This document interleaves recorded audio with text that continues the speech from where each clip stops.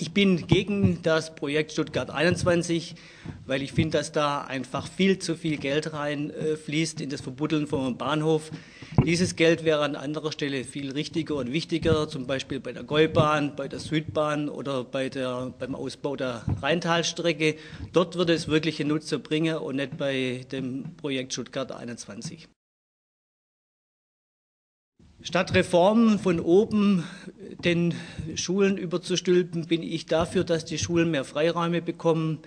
Ich möchte, dass wir ein längeres gemeinsames Lernen haben in diesem Bildungssystem, wo die Schüler nicht so früh ausselektiert werden. Wirtschaft und Mittelstand sind mir eine ganz wichtige Angelegenheit. Die Stärke, die wir haben als Region hier und auch als Land, das weiter ausbauen, das garantiert und schafft Arbeitsplätze und generiert auch Einnahmen. Eine Energiewende ist das, was wir als Grüne anstreben, weg vom Atomstrom, keine Verlängerung der Atomkraftwerke, hin zu den regenerativen Energien. Das ist die Zukunft für das Land.